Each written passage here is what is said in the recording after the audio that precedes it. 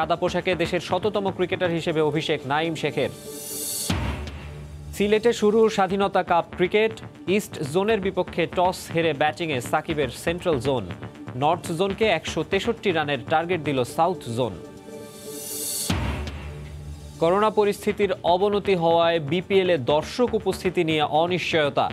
সরকারি নির্দেশনার প্রেক্ষিতে সিদ্ধান্ত, জানালো বিসিবি। এবং বিকেলে ফেডারেশন কাপের ফাইনালে লড়বে আবাহনী ও রহমতগঞ্জ। শিরোপা পুনরুদ্ধারে মরিয়া, আকাশী নীলরা। চমক দিতে চায় পুরনো ঢাকার ক্লাব।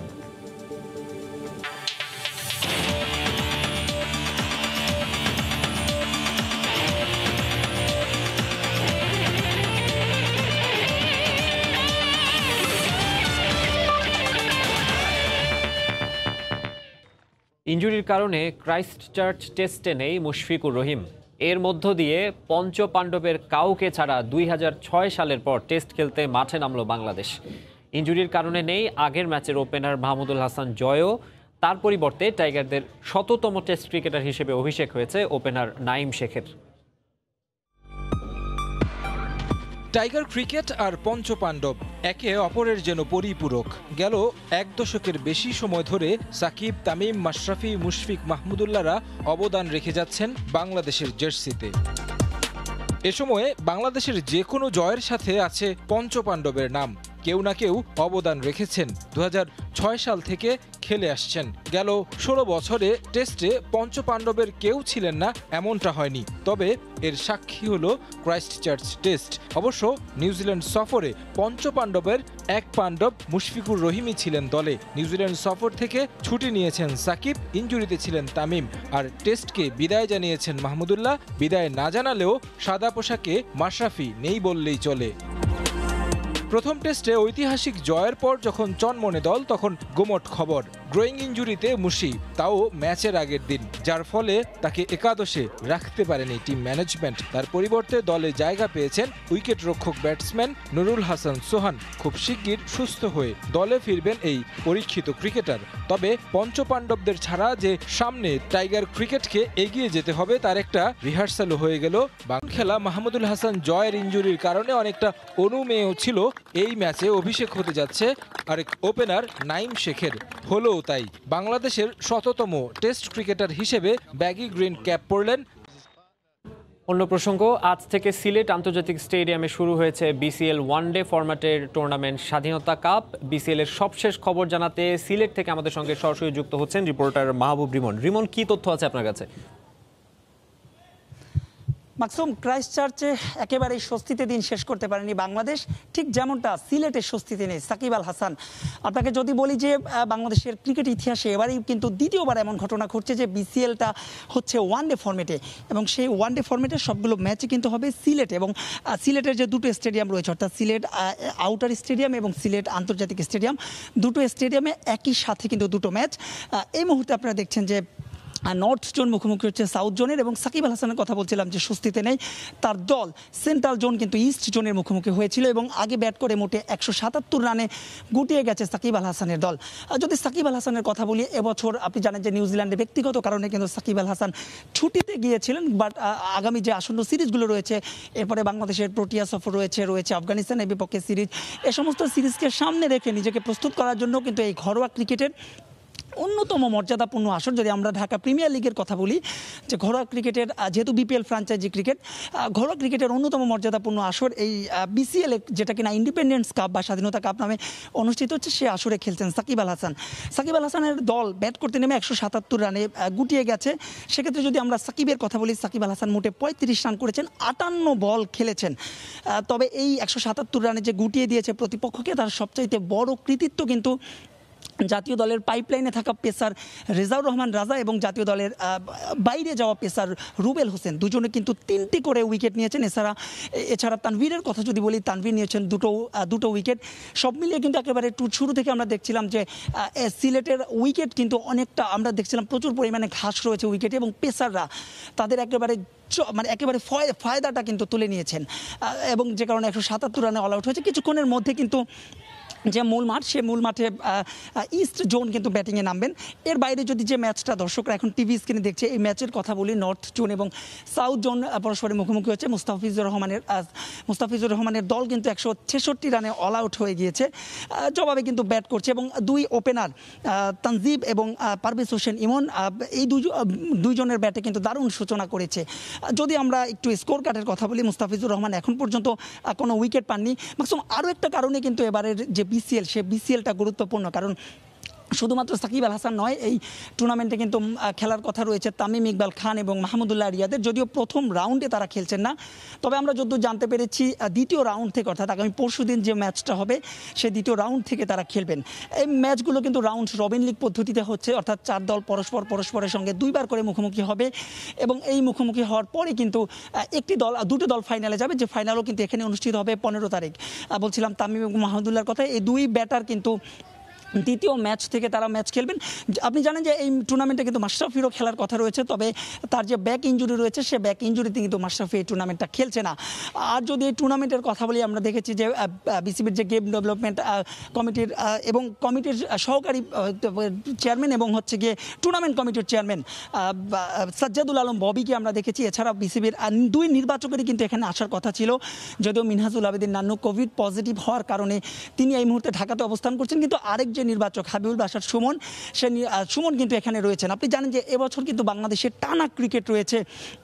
পিপিএল এর পরপরই কিন্তু আফগানিস্তান আসবে, এরপরে বাংলাদেশ দল যাবে দক্ষিণ আফ্রিকায় আয়ারল্যান্ড আসবে, বাংলাদেশে বাংলাদেশের এরপরে বাংলা বিশ্বকাপ রয়েছে, এশিয়া কাপ রয়েছে ভারতের সঙ্গে সিরিজ রয়েছে, সব মিলিয়ে কিন্তু এবছর ব্যস্ত একটা শিডিউল আপনি জানেন যে কোভিডের অবস্থা কিন্তু আগের চেয়ে ধীরে ধীরে খারাপ হচ্ছে, সেক্ষেত্রে কিন্তু পর্যাপ্ত ব্যাকআপ ব্যাকআপ ক্রিকেটার কিন্তু পর্যাপ্ত দরকার, সেক্ষেত্রে কিন্তু নির্বাচকদের জন্য এই অর্থাৎ ক্রিকেটারদের প্রমাণের জন্য কিন্তু দারুণ একটা দারুণ একটা টুর্নামেন্ট কিন্তু এই বাংলাদেশ যে যে প্রিমিয়ার লিগ হচ্ছে বিসিএল, বাংলাদেশ প্রিমিয়ার লিগ বা ইন্ডিপেন্ডেন্স কাপ।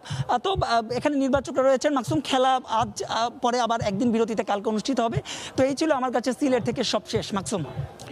রিমন, আপনাকে নারী ক্রিকেট দলের খবর। কমনওয়েলথ গেমস বাছাই পর্ব খেলতে এখন মালয়েশিয়ায় বাংলাদেশ নারী ক্রিকেট দল। প্রথমবার ওয়ানডে বিশ্বকাপের মূল পর্ব নিশ্চিত করা বাংলাদেশ। জয়ের ধারা ধরে রাখতে চায় টি টোয়েন্টি ফরম্যাটেও জানিয়েছেন টাইগ্রেস অধিনায়ক নিগার সুলতানা জ্যোতি। টি টোয়েন্টি দলে নতুনদের সুযোগ করে দিতে বাদ দেওয়া হয়েছে পেসার জাহানারা আলমকে। এটা জানিয়েছেন নারী ক্রিকেট দলের কোচ মাহমুদ ইমন। প্রথমবারের মতো ওয়ানডে বিশ্বকাপের মূল পর্ব নিশ্চিত করা বাংলাদেশ নারী ক্রিকেট দলের এবারের মিশন কমনওয়েলথ গেমসের বাছাই পর্ব চন্মনে টাইগ্রেসদের এবারের মঞ্চ মালয়েশিয়া। ফরম্যাট টি টোয়েন্টি চেনা এই সংস্করণে এর আগেও সাফল্য এনে দিয়েছেন রুমানা সালমারা। ওমিক্রনের ধকল কাটিয়ে দেশের মাটিতে সংক্ষিপ্ত অনুশীলন করেছে টাইগ্রেসরা। কিছুদিন আগে ওয়ানডে ফরম্যাট খেলে এসেছে। টাইগ্রেস অধিনায়কের লক্ষ্য ফরম্যাট যাই হোক, জয়ের ধারায় থাকতে চায় দল। যেই কোনো ফর্মেটে হোক না কেন, টিমের হচ্ছে উইনিং হ্যাবিটটা রাখাটা অনেক ইম্পর্টেন্ট আমরা যেখানে খেলতে যাচ্ছি না কেন অ্যাজ এ টিম যদি আমরা ভালো রেজাল্ট করতে পারি নেক্সট যখন আমরা ওয়ার্ল্ড কাপে যাব, সেটা আমাদেরকে মোটিভেট করবে। মালয়েশিয়ার কন্ডিশনে খেলার অভিজ্ঞতাটা আমাদের ভিতরে আছে। নিজেদের ভিতরে অনেকগুলো ম্যাচ খেলেছি এবং আমরা অনেক কনফিডেন্ট কারণ ম্যাচগুলো খুব কম্পিটিটিভ ছিল। ইন্ডিভিজুয়াল কিন্তু অনেক ভালো পারফর্ম করছে এবং খুব ভালো শেপের ভিতরে আছে। কমনওয়েলথ গেমসের বাছাই পর্বে চার ম্যাচ খেলবে বাংলাদেশ, যেখানে শ্রীলঙ্কা এবং স্কটল্যান্ড সম্পর্কে জানা আছে। বাকি দুই দল কেনিয়া এবং মালয়েশিয়া, তাদের নিয়েও হয়েছে পড়াশোনা। বাছাই পর্ব উতরাতে আত্মবিশ্বাসী বাংলাদেশ। ওয়ানডের পর টি টোয়েন্টিতেও অধিনায়কত্ব পেয়েছেন নিগার সুলতানা জ্যোতি। সাফল্যের ধারা ধরে রাখতে চান এই ফরম্যাটেও। অধিনায়কত্ব আমি চাপ হিসেবে নিচ্ছে না আমি মনে করব যেটা রেসপন্সিবিলিটি যেটা হচ্ছে আমার উপরে ভরসা করে বা আমি ক্যাপাবল কারণ আমাকে দেওয়া হয়েছে। সো আমি সেটার অবশ্যই পূর্ণাঙ্গ চেষ্টা করব সেটা রক্ষা করার। তা আমাদের টিমটা হচ্ছে বোলিং এবং ফিল্ডিং দিকটা অনেক বেশি স্ট্রং সো সেই দিক থেকে ব্যাটাররা কিন্তু খুব ভালো কাম করেছে ওয়ার্ল্ড কাপ কোয়ালিফায়ারে আমি মনে করি যদি এই জিনিসটা ধারাবাহিকতাটা বজায় থাকে অ্যাজ এ ব্যাটিং ইউনিট যদি আমরা ভালো করতে পারি আমার কাছে মনে হয় যে সেটা আমাদের জন্য ভালো হবে।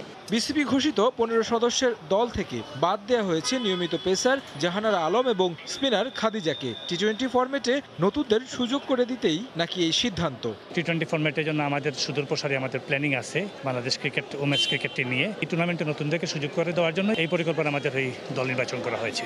অভিজ্ঞ ক্রিকেটার পাশাপাশি নবীন ক্রিকেটারও সুযোগ পেয়েছে। তো আশা করি আমরা আমরা এখানে দেশের জন্য ভালো কিছু নিয়ে আসতে পারব। আঠারো জানুয়ারি অচেনা কেনিয়ার বিপক্ষের ম্যাচ দিয়ে কমনওয়েলথ গেমস বাছাই পর্ব শুরু করবে বাংলাদেশের নারীরা। তারেক হাসান শিমুল সময় সংবাদ ঢাকা। আবারও স্বাগত খেলার সময়ে। ফেডারেশন কাপ ফুটবলের খবর। শিরোপা পুনরুদ্ধারের মিশনে রহমতগঞ্জের বিপক্ষে মাঠে নামবে ঢাকা আবাহনী। কমলাপুর স্টেডিয়ামে ম্যাচ শুরু হবে আজ বিকেল সাড়ে পাঁচটায়। সোনালী সূর্য আবার উকি দিয়েছে আকাশে নীলে।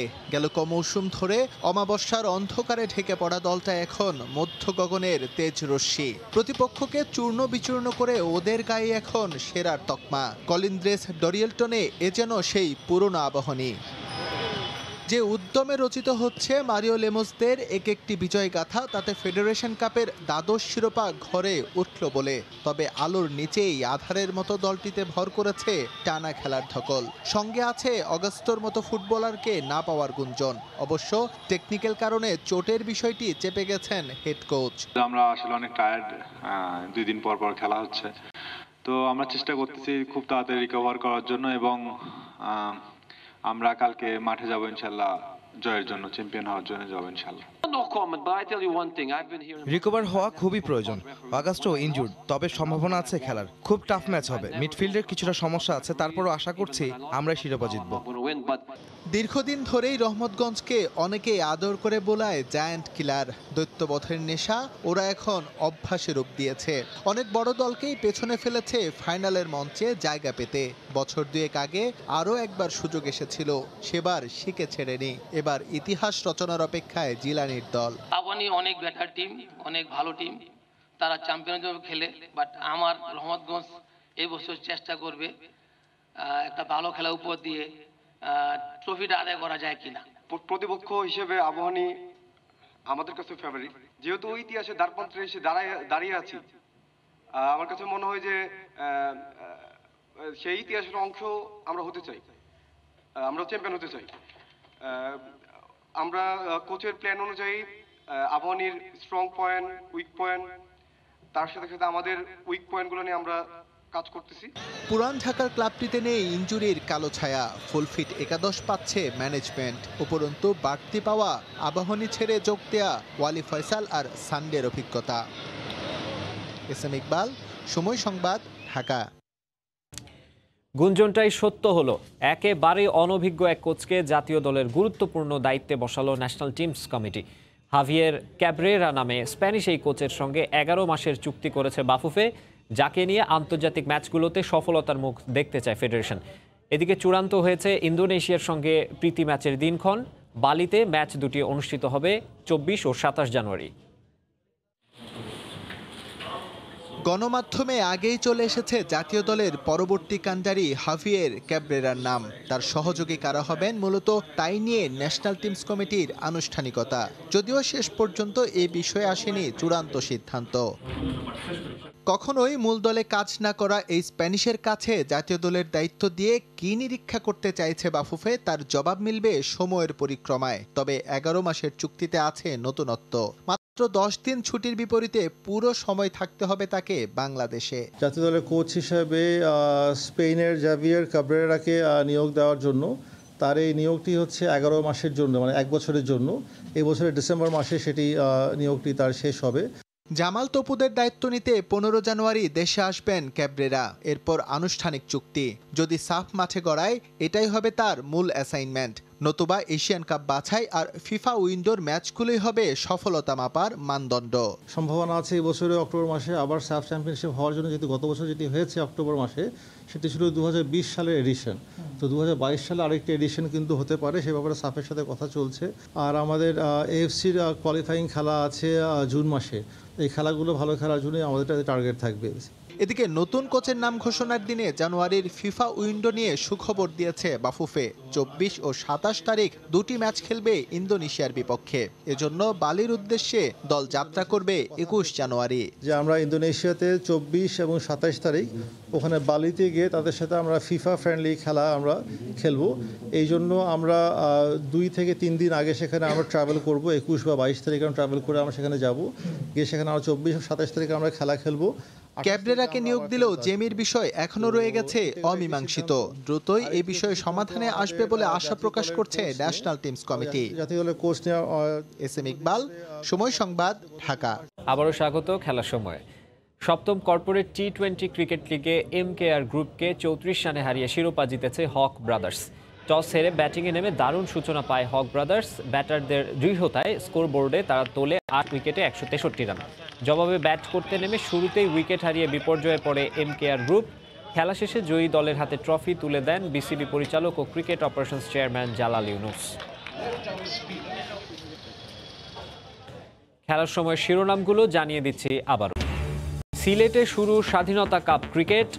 ইস্ট জোনের মুখোমুখি সাকিবের সেন্ট্রাল জোন, নর্থ জোনকে একশো তেষট্টি রানের টার্গেট দিল সাউথ জোন। এবং বিকেলে ফেডারেশন কাপের ফাইনালে লড়বে আবাহনী ও রহমতগঞ্জ। শিরোপা পুনরুদ্ধারে মরিয়া, আকাশী নীলরা চমক দিতে চায় পুরনো ঢাকার ক্লাব। এই ছিল খেলার সময়ে, সঙ্গেই থাকুন সময়।